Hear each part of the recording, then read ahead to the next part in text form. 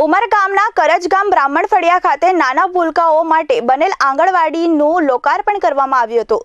રૂપિયા દસ લાખના ખર્ચે બનાવેલ આંગણવાડીનું લોકાર્પણ કરવામાં આવ્યું હતું. ઉમરગામ તાલુકાના કરજ ગામના પ્રથમ નાગરિક અને માજી સરપંચ કમલેશ ધોળીના આગેવાનીમાં નાના ભૂલકાઓને પાયાનું શિક્ષણ મળી રહે તે હેતુથી નોટિફાઈડ ગ્રાન્ટમાંથી રૂપિયા દસ લાખના ખર્ચે બનાવેલ આંગણવાડીનું લોકાર્પણ કરાયું હતું.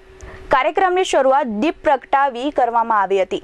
ઉમરગામ તાલુકા પંચાયત પ્રમુખ રમેશ ધાંગડા અને તાલુકા વિકાસ અધિકારી અક્ષયસિંહ રાજપૂતના વરદ હસ્તે રિબિન કાપી લોકાર્પણ કરવામાં આવ્યું હતું. આ પ્રસંગે તાલુકા ભાજપ સંગઠન દિલીપ ભંડારી, તાલુકા પંચાયત સભ્ય મહેશ આહિર, કરજ ગામ ગ્રામ પંચાયત તલાટી આંગણવાડી કાર્યકરો, બહેનો, બાળકો અને ગ્રામજનો ઉપસ્થિત રહ્યા હતા.